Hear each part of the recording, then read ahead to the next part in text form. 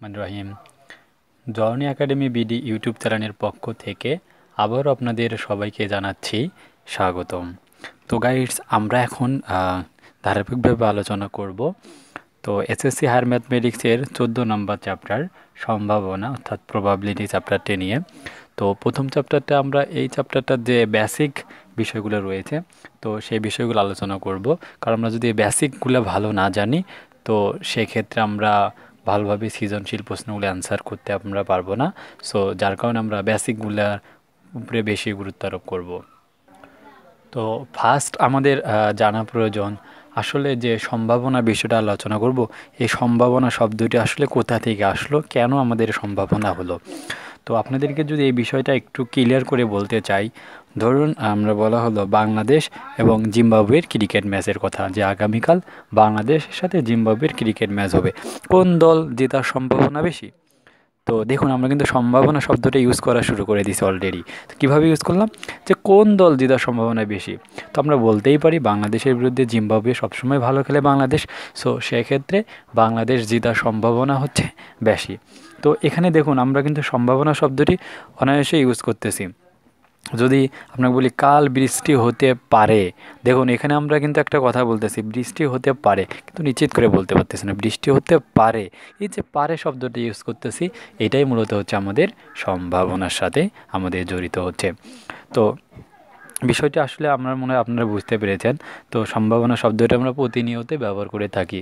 So এই সম্ভাবনাটা এই চ্যাপ্টারের হচ্ছে আমাদের বেসিক বিষয়।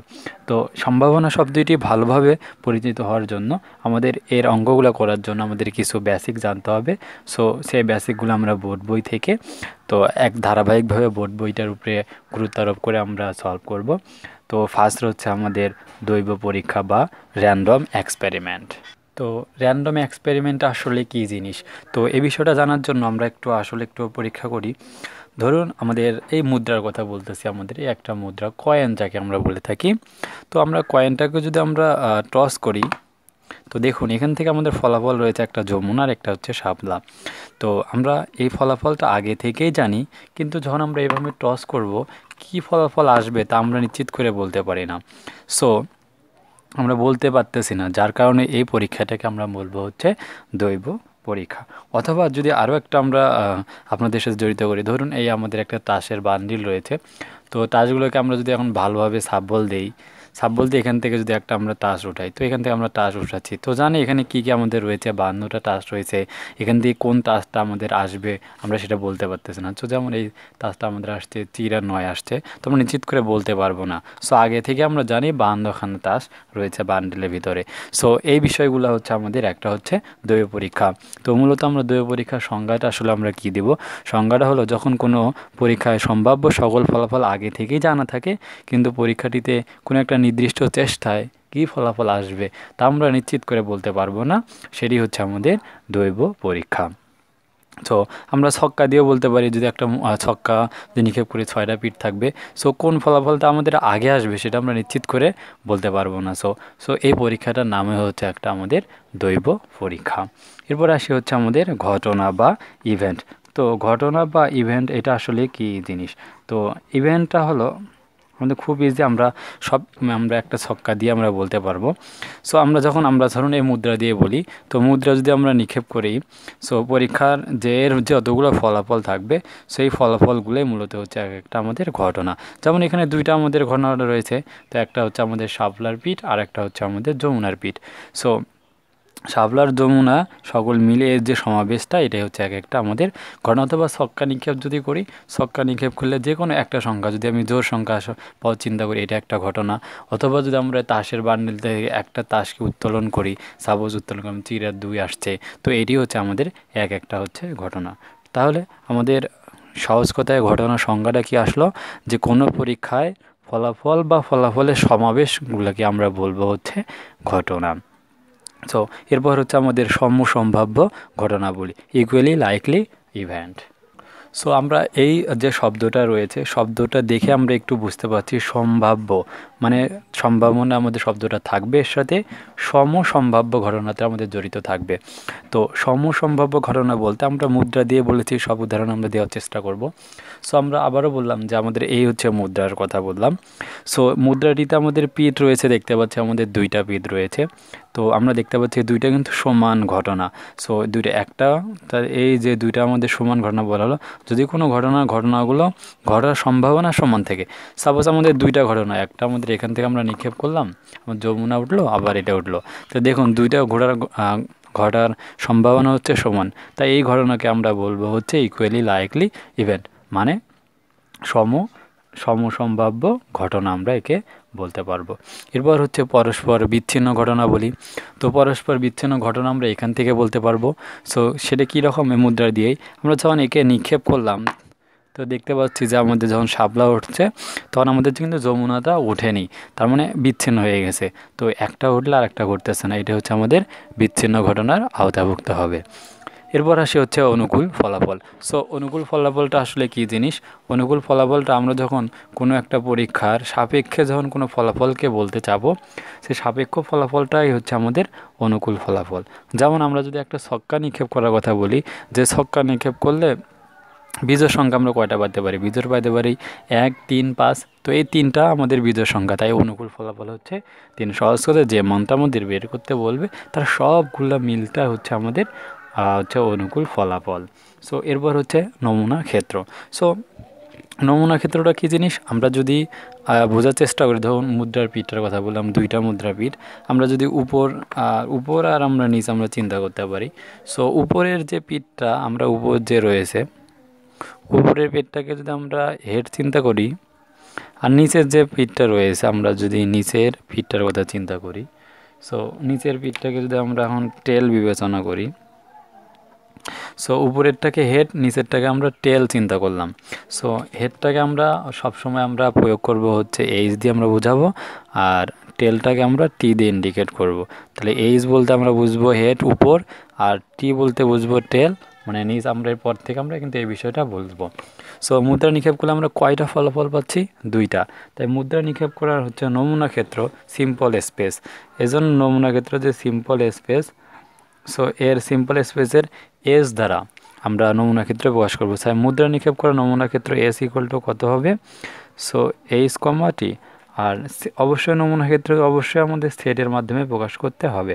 এর জন্য সংজ্ঞাটা আমাদের বলা হয় যে, এখান থেকে আমরা সেকেন্ড ব্র্যাকেট ইউজ করি, তাহলে একে পাবো আমরা সিম্পল স্পেস সংজ্ঞাটা হলো, কোনো দৈব পরীক্ষা সম্ভাব্য সকল ফলাফল নিয়ে গঠিত সেটকে তো সম্ভাব্য সকল ফলাফল নিয়ে যে আমরা গঠিত সেটটা পাবো, এটি হচ্ছে আমাদের রেজাল্ট আমরা পাবো হচ্ছে সেটি হচ্ছে আমাদের নমুনা ক্ষেত্র।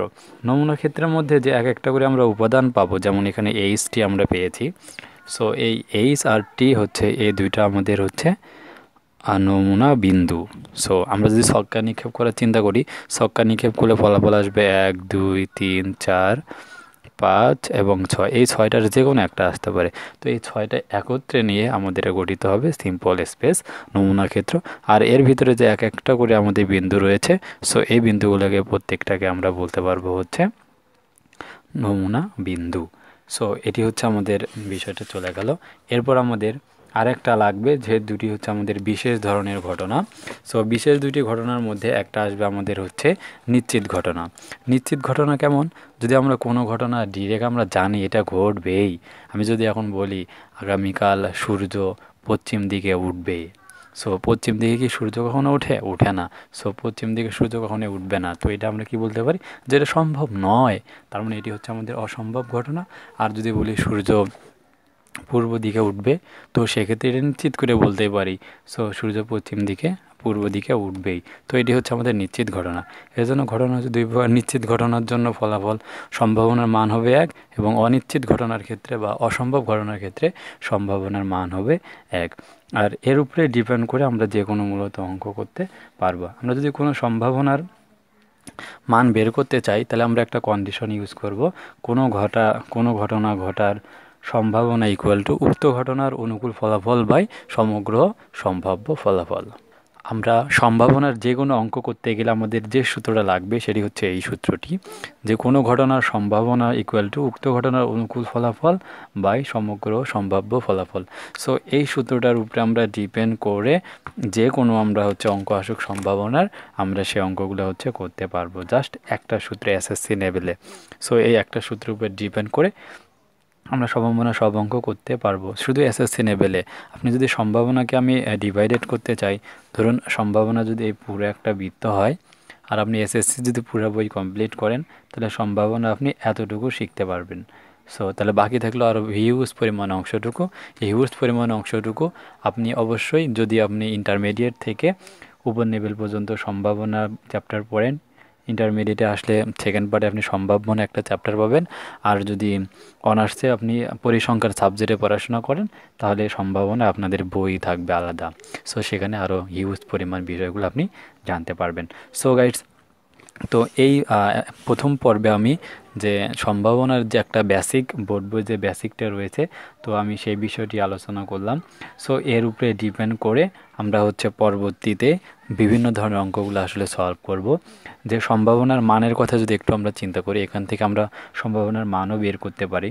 ধরুন, কোনো সম্ভাবনা ঘটনার সর্বোচ্চ ফলাফল, অনুকূল ফলাফল এন সংখ্যক যদি হয়, আর সম্ভব সমগ্র ফলাফলও যদি আমাদের এন সংখ্যক হয়, তাহলে এন এন ক্যান্সেল আউট হলে ওয়ান আর সম্ভাবনা তাহলে আমরা সর্বোচ্চ মান পাচ্ছি কত? ওয়ান এটা হচ্ছে আমাদের সম্ভাবনার সর্বোচ্চ মান হচ্ছে ওয়ান আর যদি সর্বনিম্ন মানের চিন্তা করি, যে কোনো একটা ঘটনা ঘটবেই না, সেক্ষেত্রে অনুকূল ফলাফল হবে জিরো আর মোট ফলাফল সেক্ষেত্রে যে ঘটনাটা থাকবে সেইটি। তো বাই হচ্ছে কিছু, এখানে সামথিং আমাদের থাকবে। তাহলে something by zero equals to আমাদের জিরো বলতে পারি, তাহলে সম্ভাবনার সর্বনিম্ন মান কত হচ্ছে আমাদের জিরো আর হায়েস্ট মান হচ্ছে ওয়ান তাহলে সম্ভাবনার মান কত থেকে কতর মধ্যে আমাদের থাকবে? তো সম্ভাবনার মান অল টাইম জিরো সহ আমাদের বড় আসবে, সম্ভাবনার মানের কথা যদি চিন্তা করি। সো এখানে সম্ভাবনা চিন্তা করলাম যে সম্ভাবনার মানটা এত থেকে ওয়ানের মধ্যে সবসময় আমাদের ভুল ঘোরাফেরা করতে পারবে। এটি হচ্ছে আমাদের সম্ভাবনার জন্য। এখানে আমরা প্রবাবিলিটি বলতে পারি। আর প্রবাবিলিটির জন্য সম্ভাবনাকে অনেক সময় পি দ্বারা ইন্ডিকেট করা হয়। তার মানে এই পি এর মানটা আমাদের কত থেকে কতের মধ্যে সবসময় থাকবে? সো অল টাইম হচ্ছে আমাদের এই রেঞ্জের মধ্যে থাকবে। এই রেঞ্জের বাইরে সম্ভাবনার কোনো মান যাবে না। সো গাইস আমরা খুব ইজিলি আমরা একটু মৌলিক বিষয়গুলো আমরা সামথিং জানতে পারছি। আর এই যে বিষয়টা, এই সূত্রের উপর ডিপেন্ড করে আরও বিভিন্ন ধরনের যে অঙ্গগুলো আমাদের সলভ করা যায় সো এই টাইপটা আমরা হচ্ছে, আমরা প্রথম পর্ব থেকে এটি প্রথম পর্ব আলোচনা করছি, আমরা এর সূত্রের উপর ডিপেন্ড করে উদাহরণের যে দ্বিতীয় পর্ব থাকবে, সেই দ্বিতীয় পর্বে আমরা উদাহরণের অঙ্কগুলো সলিউশন করব। সো দ্বিতীয় পর্ব দেখার আমন্ত্রণ জানিয়ে শেষ করব। তো তার আগে একটা কথা না বললে নয়, আপনারা দেখতে পাচ্ছেন আমি অনেক কষ্ট করে আপনাদের জন্য আমি ভিডিও মেক করে থাকি। সো যদি আপনাদের ভিডিওটিগুলো ভালো লাগে থাকে, তাহলে অবশ্যই ভিডিওতে কমেন্টস করবেন। আপনি কোথা থেকে ভিডিওটি দেখছেন? আপনার যদি ম্যাথের কোথাও কোনো প্রবলেম হয়, তো অবশ্যই আমাকে কমেন্ট করে জানাবেন। আমরা আপনার সেই প্রবলেমটি নিয়ে একটা প্রশ্নোত্তর পর্ব করব। সেখানে আপনার ম্যাথের তুই সলিউশন করে দিব। সো এখানে আমাদের সাথে গ্রুপ রয়েছে ফেসবুক গ্রুপ রয়েছে। তো গ্রুপে আমাদের সাথে জয়েন করতে পারেন বা পেজ রয়েছে। পেজে আপনাদের সমস্যাগুলো বলতে পারেন। সো তাহলে দেখা হচ্ছে আমাদের পরবর্তী এপিসোডে তো এই পর্যন্ত আপনাদের সুস্বাস্থ্য কামনা করে এখানে শেষ করছি। আসসালামু আলাইকুম রহমতুল্লাহ।